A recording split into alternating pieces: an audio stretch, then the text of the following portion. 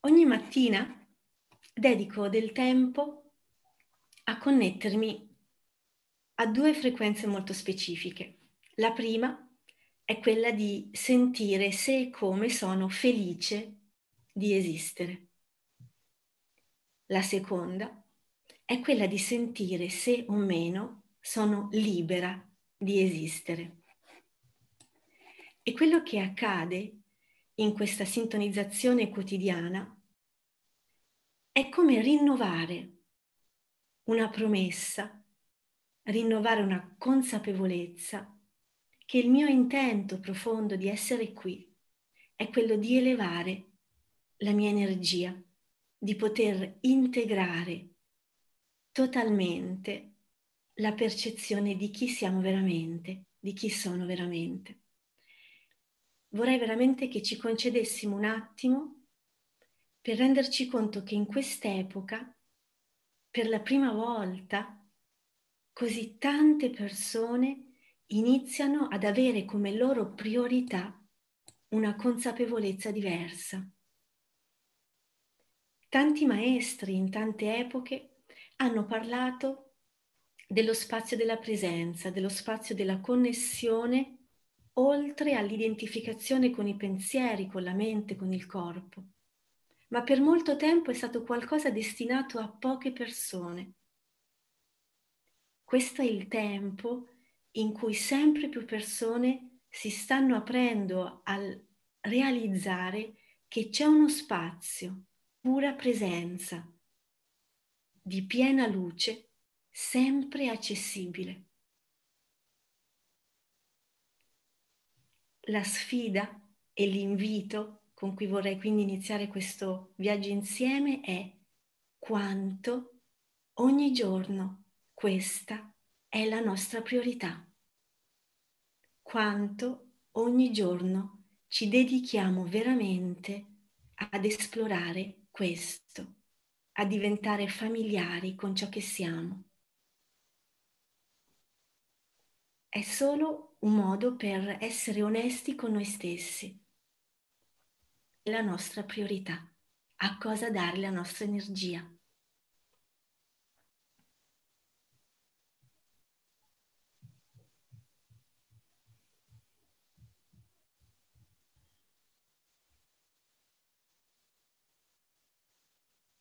Vedremo nel corso dell'incontro di oggi Cosa significa entrare nell'età dell'acquario? Cosa significa che ci stiamo lasciando in qualche modo alle spalle l'età dei pesci?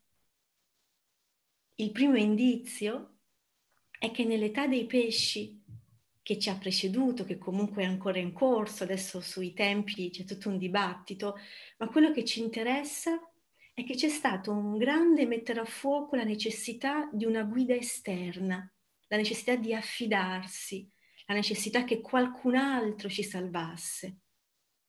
Per me l'intento di questo viaggio insieme è quello di iniziare a entrare consapevolmente in quello che nell'età dell'acquario, l'acqua, la conoscenza, è qualcosa che passa dalle nostre cellule, è qualcosa di cui prendiamo la piena responsabilità.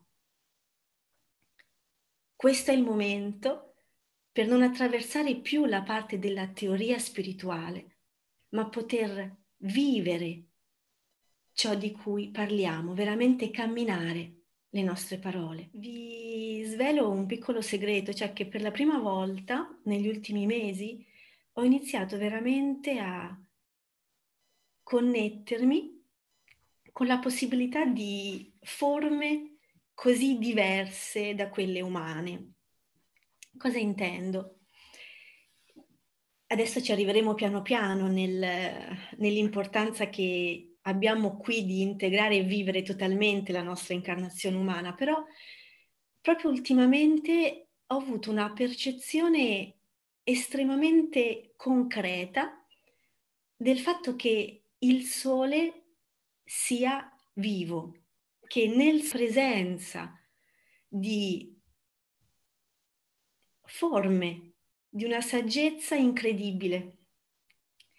è stata un'intuizione, non ve la so descrivere diversamente, però quello che sento di invitarvi è di ricollegarci a questo grande padre nella percezione che c'è una saggezza che sta cercando di comunicare livelli sempre più sottili e importanti di informazioni in una quantità di tempo più veloce.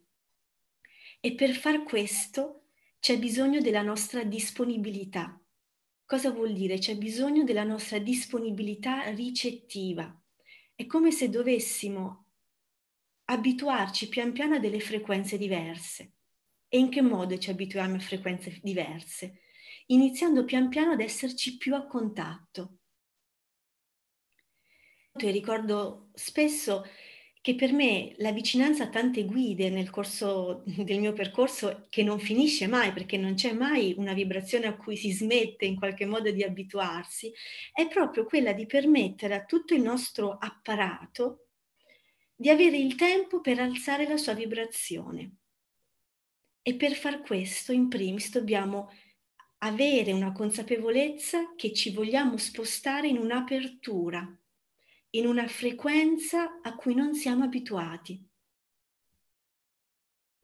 Già avere questa consapevolezza di poterci connettere, ad esempio, in questo caso specifico, con il sole, ad una frequenza, ad una vibrazione diversa, necessita la nostra apertura ad incontrare il sole, a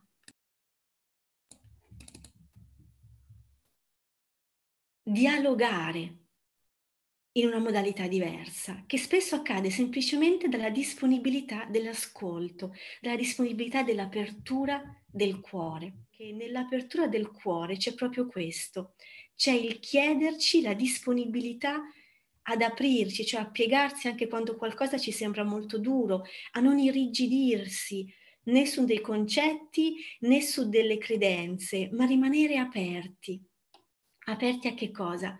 Aperti ad incontrare le paure, le difficoltà, semplicemente attraverso una fiducia, una fiducia totale in questa possibilità di unione, in questa fiducia verso la vita. Questo per me è già una grandissima ricchezza di ciò che abbiamo fatto all'inizio, cioè aprirsi al contatto con il cuore.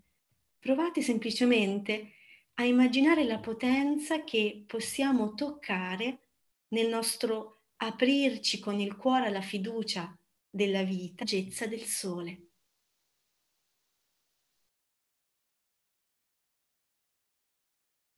Basta un intento, portare a questo la consapevolezza e ogni volta in cui ci perdiamo, sapere che possiamo riattivare questo tipo di incontro.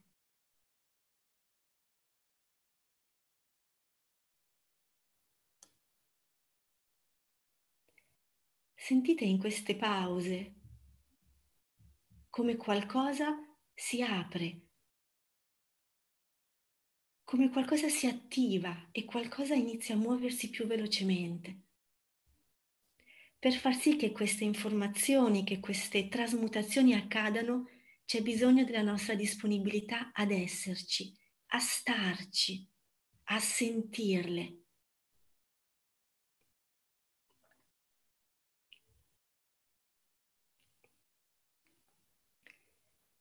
È possibile che molti di noi in questo periodo sentano un velocizzarsi di tante cose, di tante sfide, di tante paure, di tante difficoltà. Ricordiamoci però che quando abbiamo la percezione del tanto da affrontare, vuol dire che dentro di noi c'è un potenziale pronto per far emergere un nuovo talento, per far emergere una nuova forza. Ricordiamoci quindi che insieme a queste sfide, insieme alle paure, alle difficoltà, stanno arrivando anche la possibilità di ricontattare tanti talenti, di ricontattare tante capacità, di ricontattare delle sensibilità nuove. Questo è un dono che questi giorni ci stanno portando in questa accelerazione.